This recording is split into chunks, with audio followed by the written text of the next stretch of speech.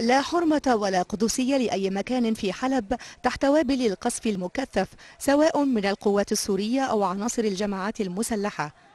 فصول معاناة ما يزيد عن مليوني مدني في حلب تتواصل دون ماء ولا كهرباء ولا رعاية طبية بعدما أصبحت الهجمات تستهدف البنية التحتية المدنية والمرافق الطبية في المدينة ما دفع المجتمع الدولي إلى إصدار نداءات عاجلة لضرورة وقف القتال.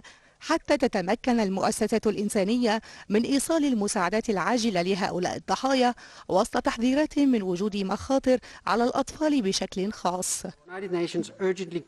الهجمات المتواصلة على حلب أضرت بشكل كبير بالبنية الأساسية من شبكات المياه والكهرباء وتركت أكثر من مليوني شخص دون خدمات عامة.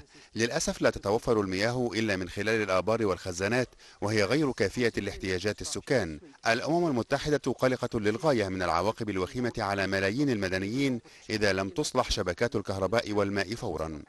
تزداد وطأة المعاناة في حلب باستهداف المستشفيات ومرافق الرعاية الصحية والتي أصبحت هدفا دائما للقصف والتدمير من جانب قوات الجانبين حيث أصبحت تصارع هي الأخرى من أجل البقاء مع نقص الكوادر والأجهزة والمستلزمات الطبية كما أن بنك الدم الوحيد بالمدينة لم يسلم من التدمير.